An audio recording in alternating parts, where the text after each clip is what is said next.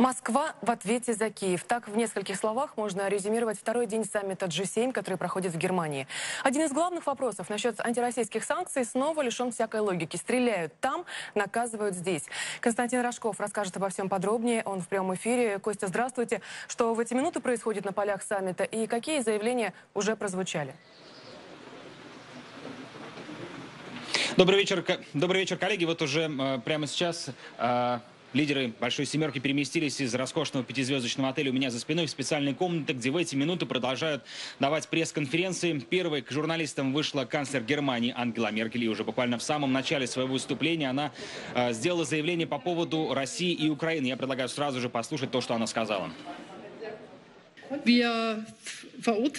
Мы осуждаем аннексию Крыма, которая, по нашему мнению, противоречила международному праву. Кризис на Украине может быть решен только политическим способом на основе минских договоренностей, и от их выполнения зависит судьба санкций в отношении России. Мы не исключаем, что санкции могут быть ужесточены в случае резкого ухудшения ситуации в Донбассе. Заявление прозвучало несколько неожиданно. До начала саммита предполагалось, что его участникам удастся договориться о сохранении антироссийских санкций, а сейчас, выходит, их могут даже расширить, и все будет зависеть от ситуации в Донбассе, где идут ожесточенные бои. При этом, судя по заявлению немецкого канцлера, «семерка» явно не собирается выяснять, кто первый начал. Если стреляют, значит виновата Россия. Кто же еще?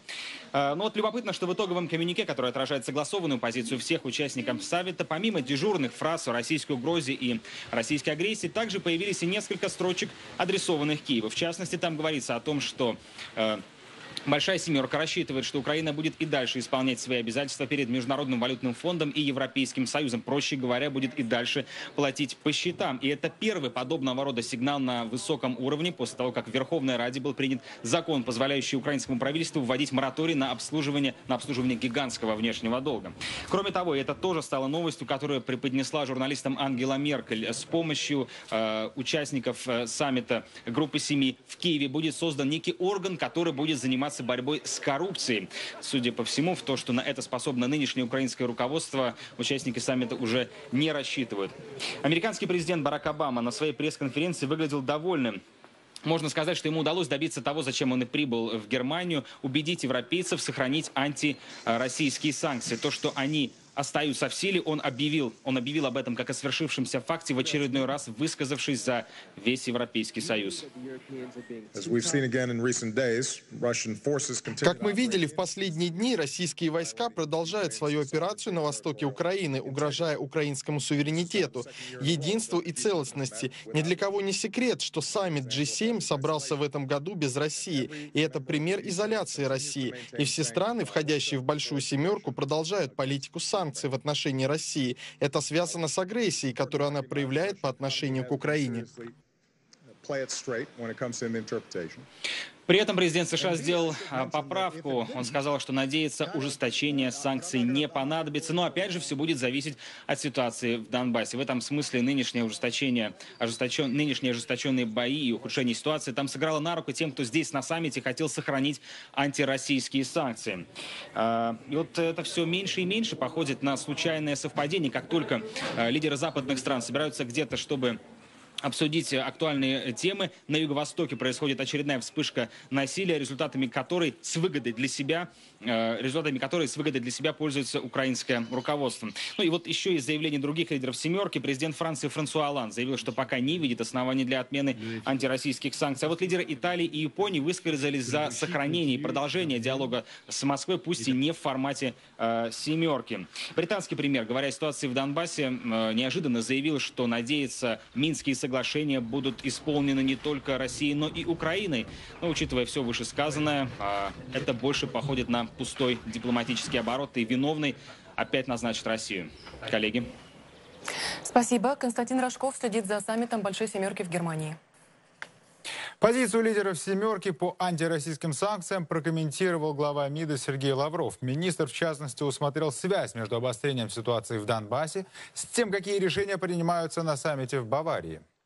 Наверное, хотелось э, к этому саммиту э, предельно обострить ситуацию, памятуя о том, что члены «семерки» заявили, санкции против России будут действовать до тех пор, пока Россия не выполнит Минские соглашения. То есть это, понимаете, такой очень э, джокер в руках украинской власти.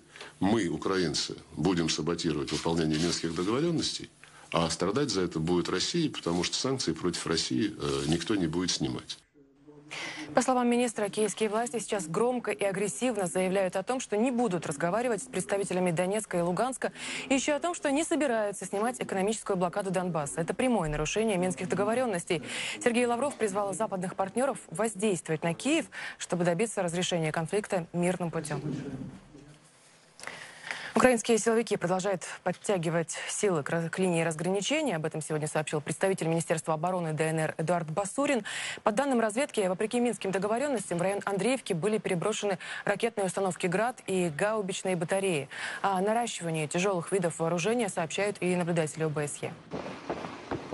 Патрули миссии ОБСЕ наблюдали присутствие тяжелого вооружения в районах, которые нарушают минские рубежи отвода. В частности, в районах, контролируемых киевским правительством, патрулем были отмечены артиллерийские установки Т-30 и 10 полностью снаряженных РСЗО, из них 8 ураганов и 2 смерча. Также в 9 километрах к юго-западу от Маринки миссию БСЕ зафиксировала 4 самоходные гаубицы. Также Басурин напомнил, что за минувшие сутки украинские силовики 30 раз нарушали режим тишины. Что касается Маринки, которая подверглась усиленному обстрелу на прошлой неделе, то сейчас, по его словам, там ситуация спокойная и боевые действия не ведутся. Украинские блогеры собираются судиться с соцсетью Facebook, которая, они настаивают, превратилась в орудие Кремля. Все почему? Потому что блокирует агрессивные высказывания. И вот что интересно, подавать иски будут депутат, политтехнолог и журналист. Об их серьезности говорит название пресс-конференции, посвященной суду. Я процитирую. «Чё там у Цукерберга?» Далее. Facebook – компания, созданная американцами, и можно представить, что скажут на Западе, услышав обвинения в сговоре с Москвой.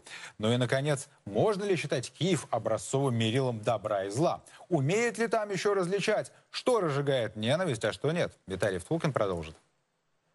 Они нашли нового врага народа. Вот он, зовут его Марк Цукерберг. Это тот самый, кто придумал Facebook. Теперь Киев хочет с ним судиться. Якобы его социальная сеть без причины, а значит злонамеренно блокирует публикации украинских политиков. Сам отец-основатель на этот счет отвечал не раз, да кто бы его слушал, получается. Um, К сожалению, появилось много сообщений, которые нарушали наш запрет на использование так называемого языка ненависти. Мы заметили это. А как известно, мы блокируем контент, содержащий открытую агрессию, оскорбление по этническому признаку или призывы к насилию.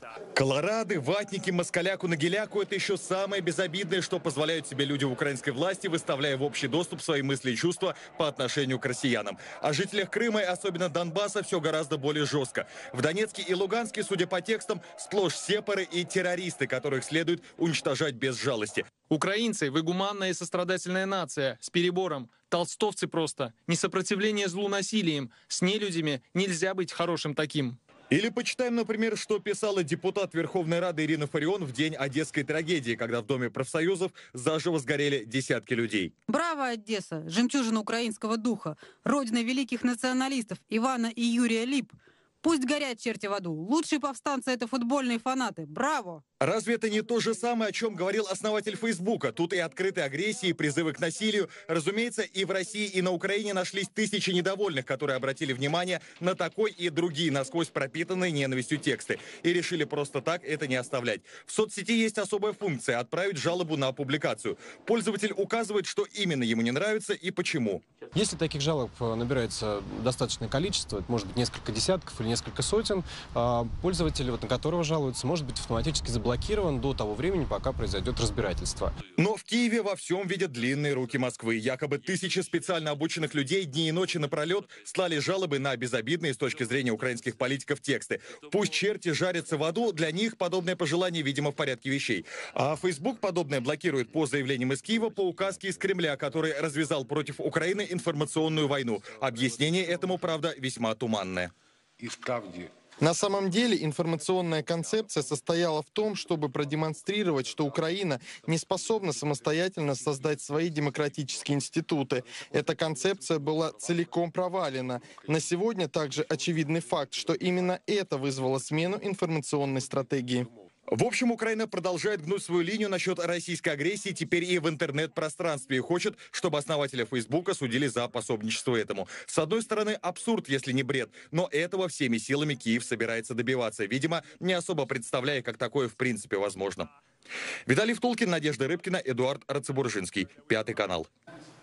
В Москве сегодня впервые прошел парламентский форум БРИКС. Бразилия, Россия, Индия, Китай и ЮАР. Пятерка, которую постоянно и хвалят, и критикуют мировые эксперты. Понятно, почему такое внимание. Это государство, где быстрее всего развивается экономика. Если судить по населению, БРИКС охватывает 3 миллиарда человек, то есть почти половину всех жителей Земли. И вот сегодня страны-участницы начали обсуждать, как они могут влиять на мировую политику, как урегулировать конфликты, как противодействовать терроризму.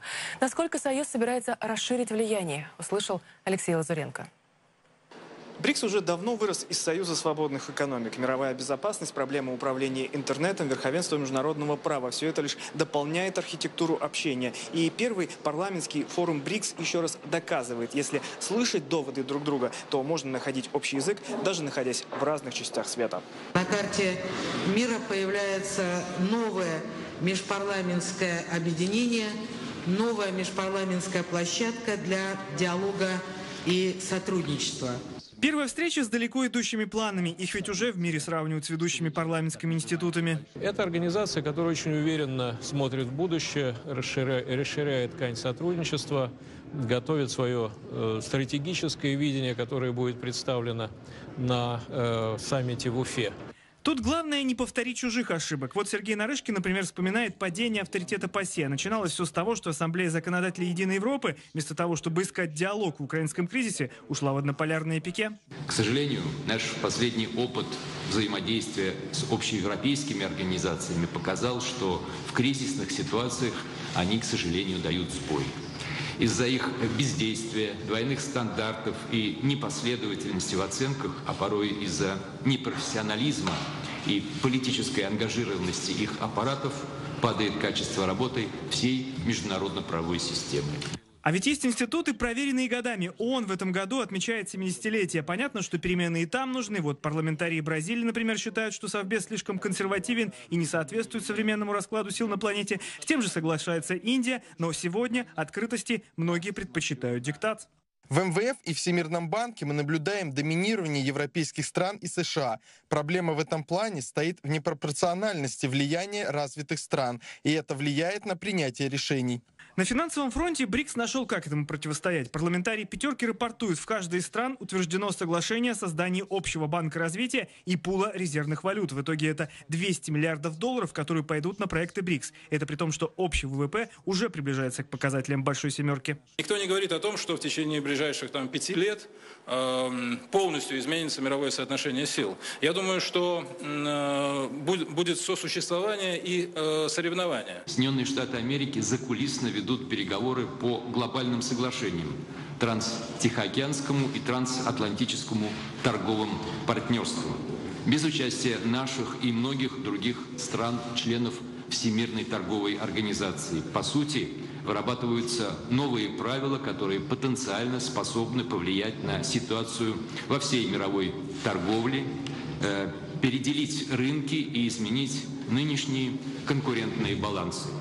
Уверен, что парламентское измерение БРИКС откроет новые возможности для честного международного диалога и поможет дать адекватный ответ на современные вызовы. Для успеха здесь нужен общий язык, а в условиях диктата его не так просто достичь. Все может закончиться тем, что Европа превратится в филиал американской экономики, звучит на форуме парламентариев пятерки. В БРИКС такой путь просто невозможен. БРИКС, в отличие от многих других международных объединений и особенно военно-политических блоков, не связана так называемой блоковой, блоковой дисциплиной.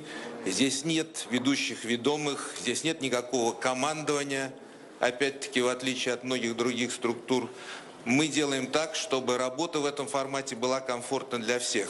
В Китае есть поговорка «Если люди являются единомышленниками, то ни горы, ни моря их не смогут разделить». Страны БРИКС относятся к четырем континентам мира. Несмотря на расстояние, они говорят на одном языке, одним голосом. Оглядываясь назад, мы можем увидеть, сколько уже удалось достигнуть за небольшой срок. Но, глядя вперед, мы можем увидеть еще более грандиозные перспективы. Поэтому парламентский форум долго обсуждает, сколь частыми нужно сделать встречи. Решили, что вопрос постоянной ассамблеи законодателей БРИКС еще будут обсуждать эксперты. Работу их примут уже на следующей встрече. А через месяц вслед за законодательной властью в России соберется и исполнительная власть пятерки. Июльский саммит в Уфе станет кульминацией российского председательства в сообществе самых быстро развивающихся стран планеты. Алексей Лазуренко, Дарья Пинчук и Вадим Степченко, Пятый канал.